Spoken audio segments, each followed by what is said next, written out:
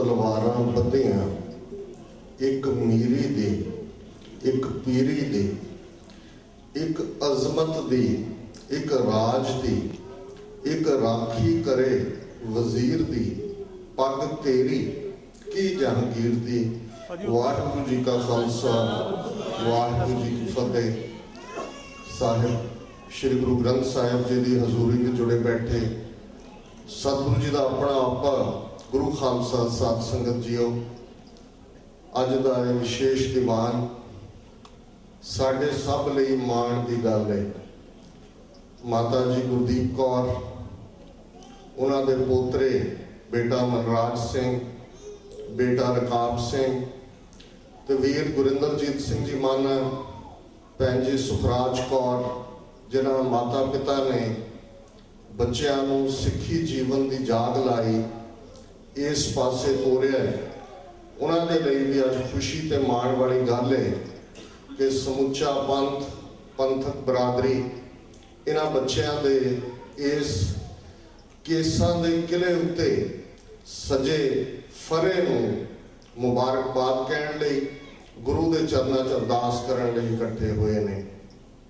ਬਿਲਕੁਲ ਠੀਕ ਭਾਈ ਸਾਹਿਬ ਨੇ, ਭਾਈ ਸਕੱਤਰ ਸਿੰਘ ਜੀ ਨੇ ਫਰਮਾਇਆ ਸੀ ਕਿ ਹੁਣ ਉਹ ਵੇਲਾ ਨਹੀਂ ਹੈ ਕਿ ਅਸੀਂ ਸ਼ਿਕਾਇਤ ਕਰੀਏ ਕਿ ਸ਼੍ਰੋਮਣੀ ਕਮੇਟੀ ਆਪਣੇ ਫਰਜ਼ਾਂ 'ਚ ਫੇਲ ਹੋਈ ਜਾਂ ਕਿਹੜਾ ਗਰੁੱਪ ਕਿਹੜੀ ਸੰਸਥਾ ਫੇਲ ਹੋਈ। ਹੁਣ ਇਹੀ ਵਕਤ ਹੈ ਕਿ ਆਪੋ ਆਪਣੇ ਘਰ ਨੂੰ ਸੰਭਾਲ ਲਈਏ, ਆਪੋ ਆਪਣੇ ਬੱਚੇ ਬੱਚੀਆਂ ਨੂੰ। ਔਰ ਇਹ ਗੱਲ ਮੈਂ ਅਕਸਰ ਦੁਹਰਾਉਂਦਾ ਕਿ ਜਿਨ੍ਹਾਂ ਘਰਾਂ 'ਚ ਮਾਵਾ ਜਪਜੀ ਦਾ ਪਾਠ ਪੜ੍ਹਦੇ ਆ, ਆਟਾ ਗੁੰਨਦੇ ਆ ਆਪਣੇ ਬੱਚਿਆਂ ਨੂੰ ਤਿਆਰ ਕਰਕੇ ਸਕੂਲੇ ਤੋੜਦੀਆਂ ਨੇ। ਉਹ ਬੱਚੇ ਬੱਚੀਆਂ, ਹੋ ਸਕਦਾ ਹੈ ਤੂਫਾਨ, ਕਾਮ ਕ੍ਰੋਧ ਨਗਰ ਬਹੁ ਭਰਿਆ ਚਾਰ ਚਫੇਰੇ ਕਲਚਰਸ ਦੀ ਕਲੈਸ਼ਿੰਗ ਦੀ ਗੱਲ।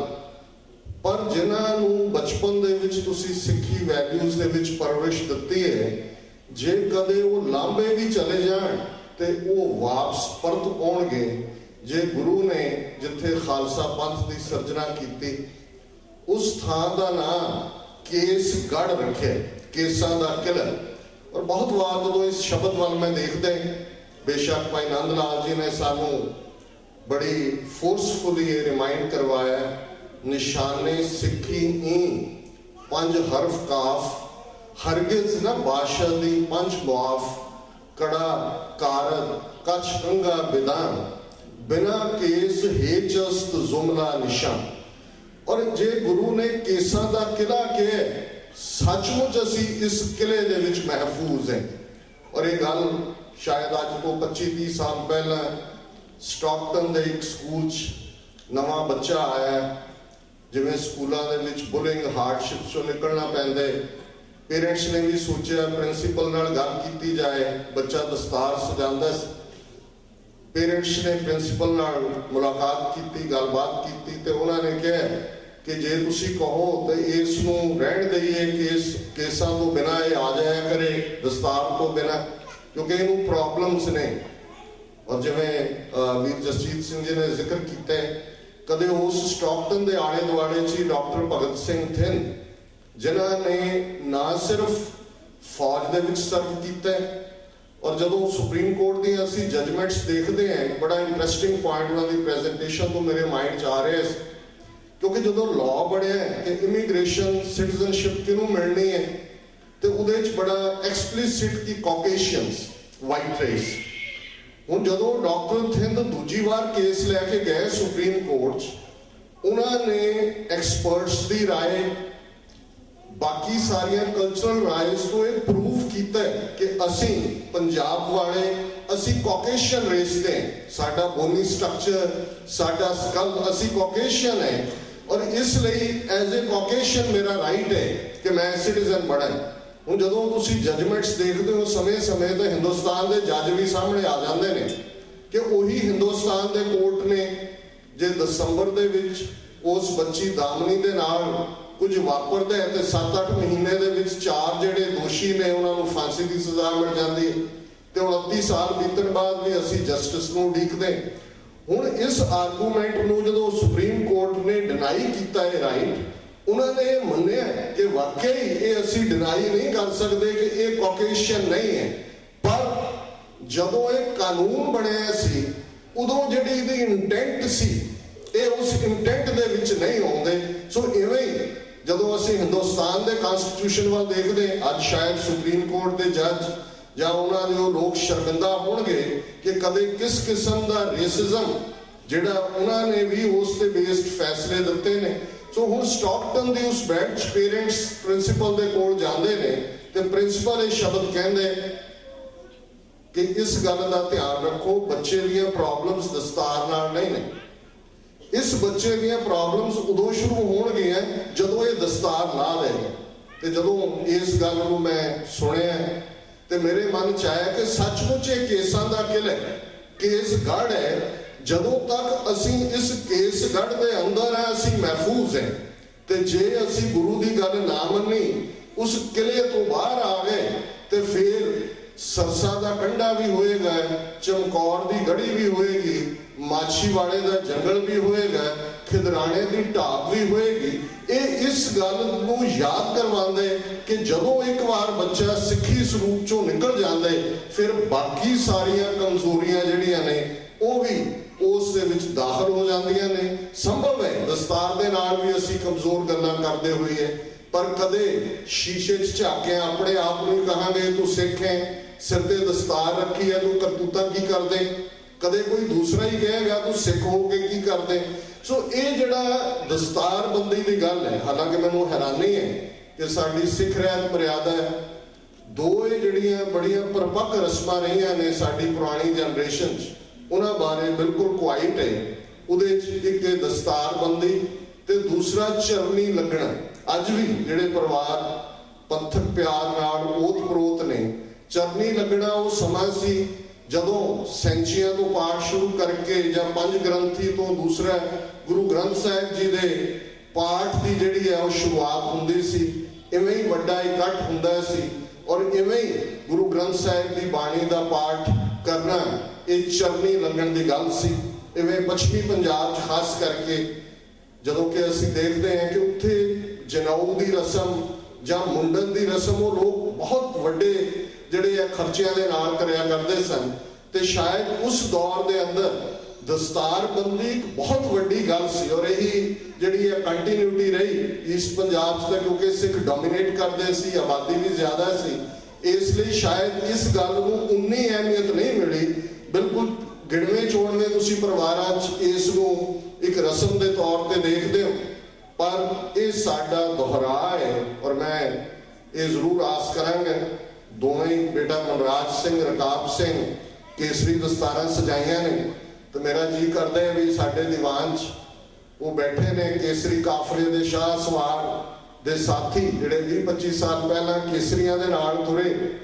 ਤੇ ਅੱਜ ਕਿਸੇ ਦੀ ਗੁਲਾਬੀ ਹੈ, ਕੋਈ ਜਾਮਣੀ ਹੈ, ਕੋਈ ਲਕਾਟ ਵਰਗਾ ਰੰਗ ਹੈ, ਕੋਈ ਬੀਰ ਵਰਗਾ ਰੰਗ ਹੈ।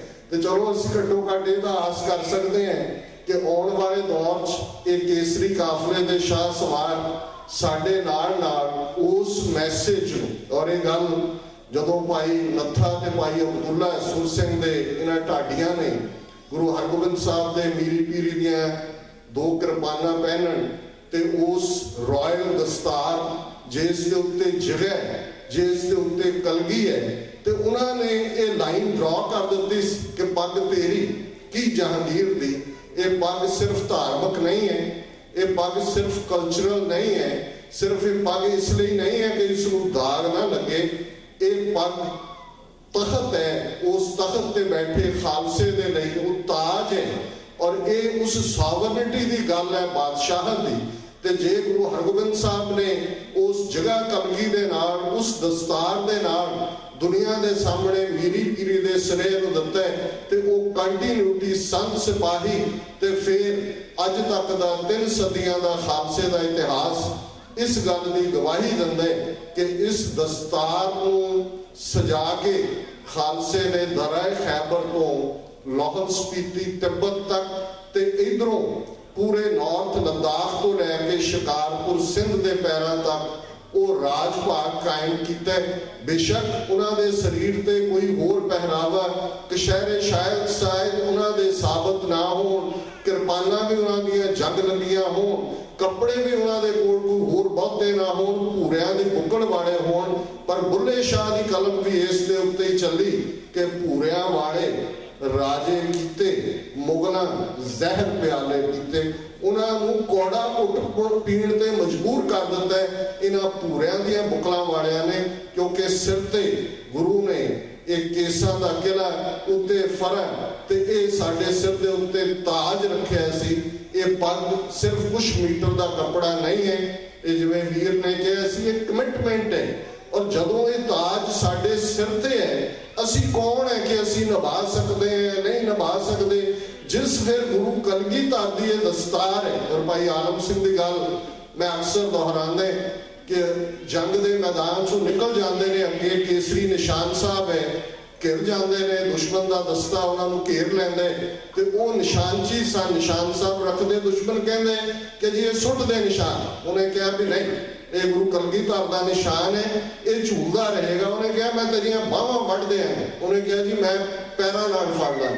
ਉਹਨੇ ਕਿਹਾ, ਮੈਂ ਤੇਰੀਆਂ ਲੱਤਾਂ ਵੱਢ ਦਿਆਂ ਉਹਨੇ ਕਿਹਾ, ਜੀ ਮੈਂ ਮੂੰਹ ਨਾਲ ਫੜ ਲਾਂਗਾ। ਔਰ ਨਾਲ ਹੀ ਜੋ ਹੀ ਇਹ ਵਾਰ ਹੋਇਆ, ਦੁਮੱਲੇ ਤੇ ਉਹ ਭਾਈ ਆਲਮ ਸਿੰਘ ਕਹਿੰਦੇ ਨੇ ਕਿ ਸਿੱਖ ਤੇ ਆਪਣਾ ਫਰਜ਼ ਨਿਭਾ ਜਾਏਗਾ। ਫਿਰ ਇਸ ਨਿਸ਼ਾਨ ਸਾਹਿਬ ਦੇ ਮਾਲਕ ਨੇ ਦੇਖਣਾ ਕਿ ਇਸ ਨੂੰ ਕਿਵੇਂ ਝੂਲਦਿਆਂ ਰੱਖਣਾ। ਜਦੋਂ ਦਸਤਾਰ ਸਾਡੇ ਸਿਰ ਤੇ ਟਿਕ ਜਾਂਦੀ ਹੈ ਫਿਰ ਇਸ ਦਸਤਾਰ ਦਾ ਮਾਲਕ, ਉਹ ਨੀਲੇ ਦਾ ਸ਼ਾਹ ਸਵਾਰ, ਗੁਰੂ ਕਲਗੀਧਰ ਪਾਤਸ਼ਾਹ ਵੀਰ ਗੁਰਿੰਦਰਜੀਤ ਸਿੰਘ ਜੀ ਮਾਨਾ ਮੈਨੂੰ ਦੱਸ ਰਹੇ ਸਨ ਕਿ ਭੈਣ ਜੀ ਦਵਿੰਦਰ ਕੌਰ, ਸਿੰਘਣੀ ਜਨਰਲ ਲਾਭ ਸਿੰਘ, ਜਿਹੜੇ ਸਾਡੇ ਅਜੋਕੇ ਸੰਘਰਸ਼ ਦੇ ਉਹ ਸਿਪਾਹ ਸਲਾਰ ਨੇ। ਜਦੋਂ ਅਸੀਂ ਬਹਾਦਰੀ ਦੀ ਗੱਲ ਕਰਦੇ, ਜਦੋਂ ਅਸੀਂ ਕਰੇਜ ਦੀ ਗੱਲ ਕਰਦੇ, ਜਦੋਂ ਅਸੀਂ ਦੁਸ਼ਮਣ ਦੇ ਅੰਦਰ ਇੱਕ ਖੌਫ ਦੀ ਗੱਲ ਕਰਦੇ, ਤੇ ਫਿਰ ਇਹ ਨਾਂ ਜਨਰਲ ਨਾਥ ਸਿੰਘ ਜਿੰਦਾ ਸੁਖਾ, ਇਹ ਸਾਡੇ ਹਾਊਸ ਹੋਲਡ ਨਾਂ ਨੇ। ਭੈਣ ਜੀ ਦਵਿੰਦਰ ਕੌਰ ਵਿਸ਼ੇਸ਼ ਤੌਰ ਤੇ ਦੋ ਦਸਤਾਰਾਂ ਲੈ ਕੇ ਬੇਟਾ ਮਨਰਾਜ ਸਿੰਘ ਔਰ ਬੇਟਾ ਰਕਾਬ ਸਿੰਘ ਦੇ ਲਈ ਦੀਵਾਨ ਦੇ ਵਿੱਚ ਆਏ ਨੇ। ਔਰ ਮੈਂ ਚਾਹਾਂਗਾ ਕਿ ਸੰਗਤ ਚੋਂ ਜੈਕਾਰੇ ਦੇ ਨਾਲ ਇਸ ਮਹਾਨ ਪਰਿਵਾਰ, ਸ਼ਹੀਦ ਪਰਿਵਾਰ, ਉਹਨਾਂ ਦੀ ਕੰਟਰੀਬਿਊਸ਼ਨ ਨੂੰ ਵੀ ਰੈਕਗਨਾਈਜ਼ ਕਰੀਏ ਔਰ ਉਹਨਾਂ ਦੇ ਇਸ ਜੈਸਚਰ ਨੂੰ ਵੀ ਵੈਲਕਮ ਕਰੀਏ।